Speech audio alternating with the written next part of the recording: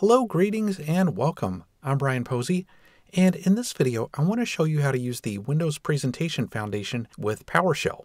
For those of you who know my work, you know that I tend to write a lot of PowerShell scripts, and a lot of times these PowerShell scripts are GUI enabled, meaning that I build a GUI interface so that you're not just looking at a plain black screen like the one that you see right here. Well, Lately, I've been exploring what the limits are of PowerShell. What can you truly accomplish with PowerShell, and what's beyond PowerShell's capabilities? And one of the ideas that I had when I was exploring some of these limits was to check out Windows inking to see if it would work with PowerShell. Now, for anybody who's not familiar with Windows inking, it's the idea that you can use a pen or a stylus or even your finger and write on the screen. Microsoft originally introduced this, I think, with the Surface devices when those first came out, because you could use the Surface Pen and write on the screen. Today, of course, there are many other devices that also support inking. And I was curious if you could do this with PowerShell. Well, as it turns out, you can, but you can't do it with a normal GUI. Now, all of the GUIs that I've built in all of my previous articles and videos, to the best of my memory, are based on something called Windows Forms. Now, Windows Forms are great because they're really intuitive, they're easy to follow, and you can create all of the normal GUI elements using those forms. You can create things like buttons and list boxes and text boxes and things like that. But there is a limit to what you can do with Windows Forms, and this is where the Windows Presentation Foundation comes into play. The Windows Presentation Foundation is a part of Microsoft.NET. It was originally introduced with .NET 3.0, and it's a framework for building rich Windows desktop applications. And WPF, or the Windows Presentation Foundation, is based on something called XAML. That's the Extensible Application Markup Language. And it's perfectly designed for creating complex graphical interfaces. So that's what we have to use if we're going to enable inking within a PowerShell application. So let's take a look at what this looks like. Before I do, I'm just going to go ahead and show you a very simple inking application. So I'll go ahead and run that now.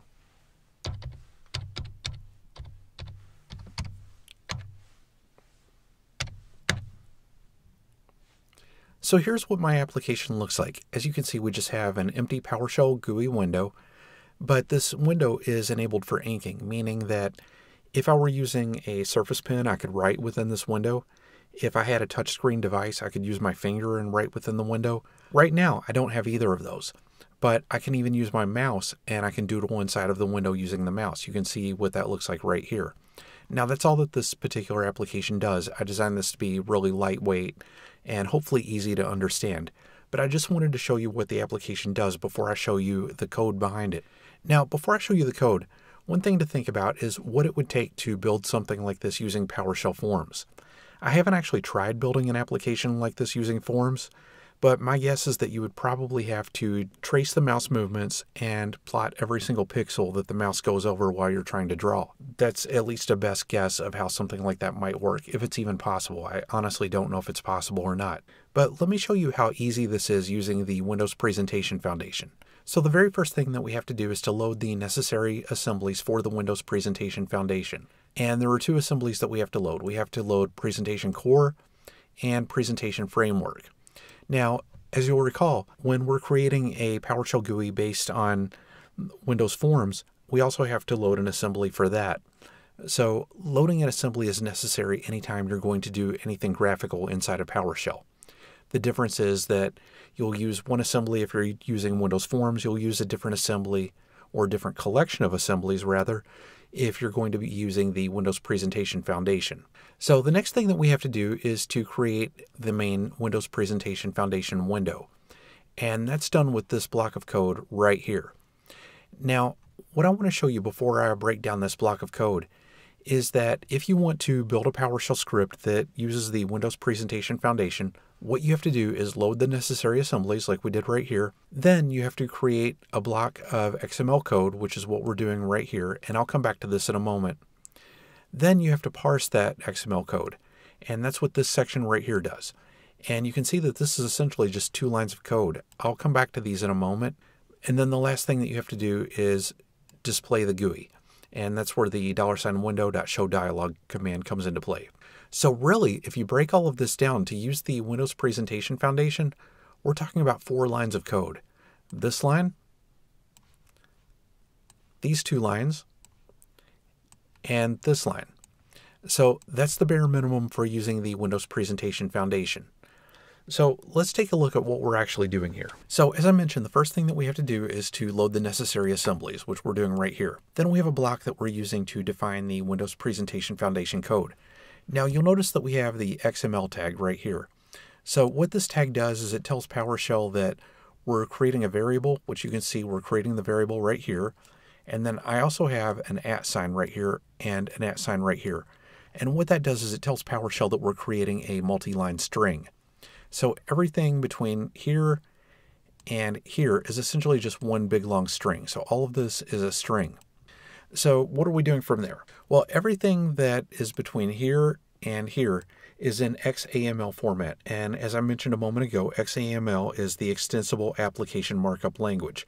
And that's the language that's used to define the user interface in Windows Presentation Foundation based applications. So the first thing that we have to do is define a window. And you can see right here, we start the window definition.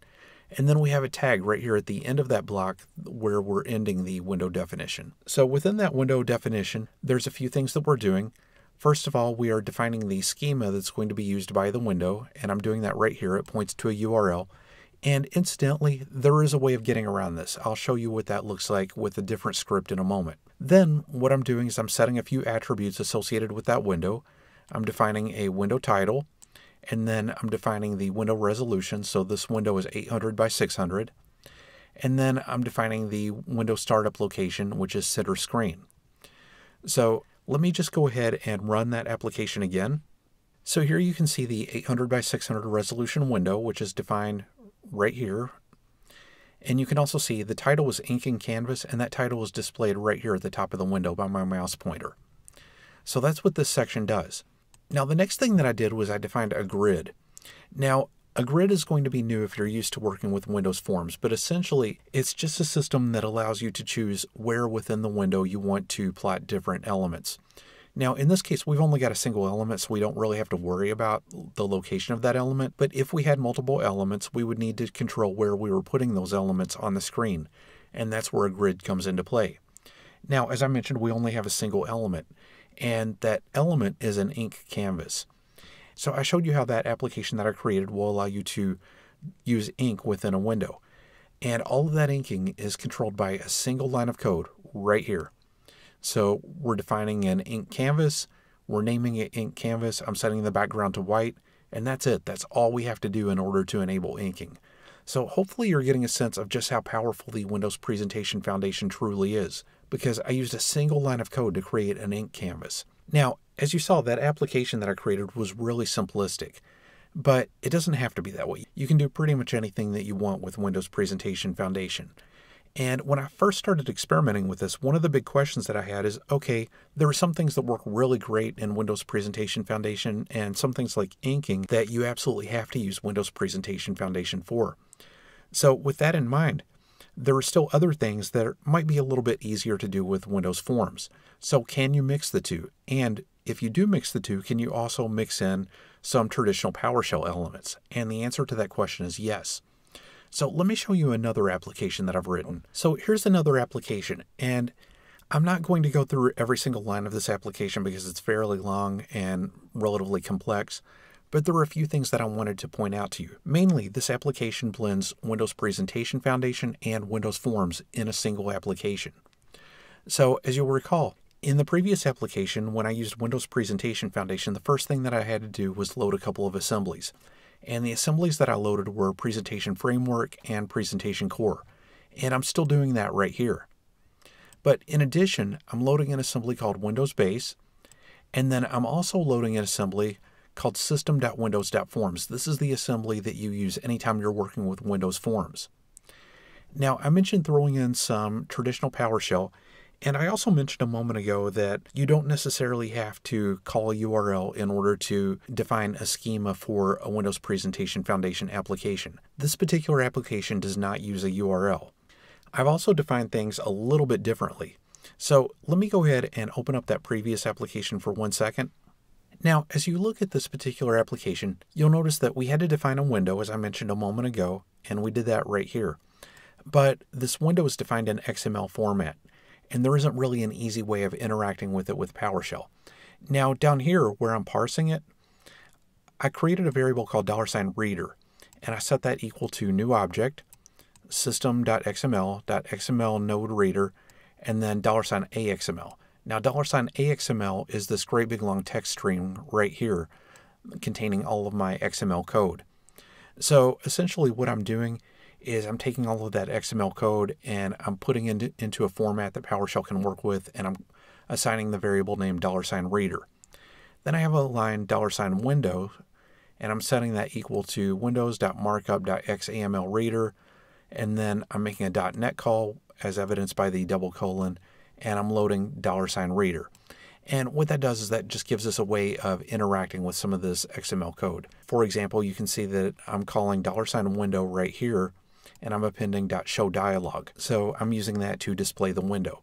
Now, this gets really messy from a PowerShell standpoint. It works fine for something short like this, but if you're trying to incorporate traditional PowerShell code, it's not the easiest thing to do when your script is written like this. So I did things quite a bit differently in the other script. Let me switch back. So as you can see in this script, rather than using all of the XML in the way that I did before, I'm using a style that's more typical of PowerShell. So here I created a variable called $window. Now, my last script had a variable called $window, but here I'm setting that equal to new object of type system.windows.window. And then I'm setting various attributes such as the title, the width, and the height. I also defined a grid just like I did in that last script, but this time I'm using a PowerShell variable. And again, I've set that equal to a new object of type system.windows.control.grid and then I'm defining the placement of a couple of objects on that grid. Now, what type of objects? Well, I've created two different objects. One is an inking canvas, just like what we had in the previous script. The other is a menu. So what I did was I created a menu that would allow me to change the color of the ink. So let me show you what that looks like. So let's take a brief look at how this menu works. So the first thing that I do is create a variable called $menu, and that's going to be an object of type system.windows.control.menu. So I'm creating a menu object. Next, I'm referencing that variable and I'm setting its value equal to all of this. So what this does is it defines the menu's position within the grid, and that's going to in turn control where that menu is placed on the screen. And then I have to actually add that menu to the grid, and that's what this line right here does. So then the next thing that I'm doing is I'm creating a menu item right here, color menu item. So new object of type system.windows.control.menu item. And so we have color menu item header options. So options is going to be the name of the menu.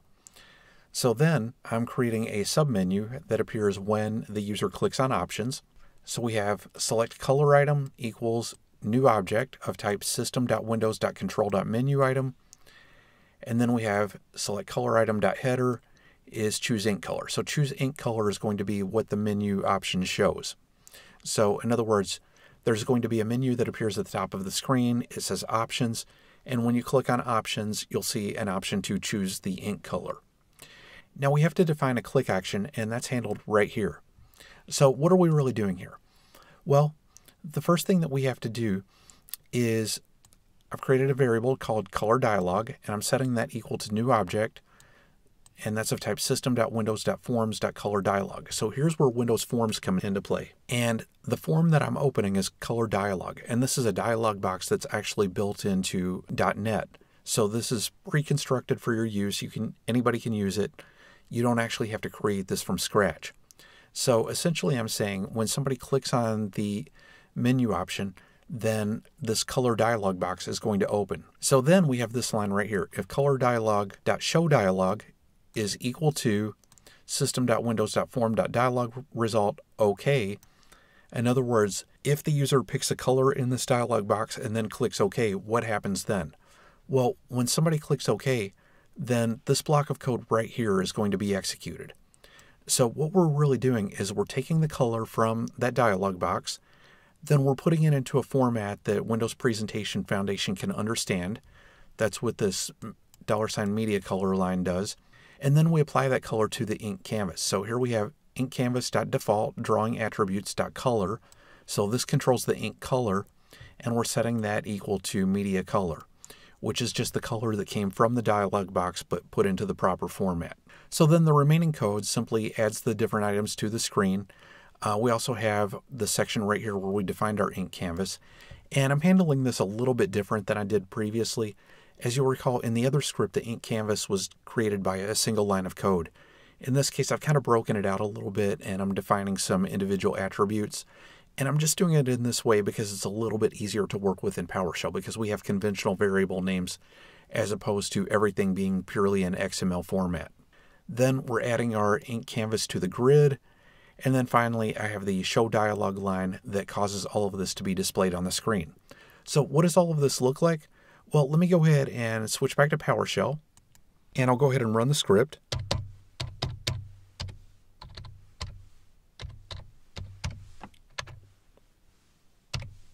So here's the window that was created. And at first glance, this looks identical to what you saw earlier, but you'll notice the word options up here in the corner.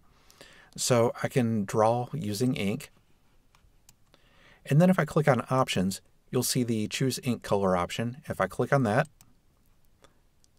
then we have a pop-up that appears and we're able to choose a color. So I'll just go ahead and pick blue and I'll click OK. And that changes the ink color to blue. And if I want to pick a different color, I can click on Options, choose an ink color, and maybe we'll go with red this time. I'll click OK, and now we have red. So that's what that script does. At any rate, I just wanted to give you a small taste of how Windows Presentation Foundation integrates with PowerShell and how you can blend your use of Windows Presentation Foundation and Windows Forms into a single script. So with that said, I hope you enjoyed the information. I'm Brien Posey. Thanks for watching.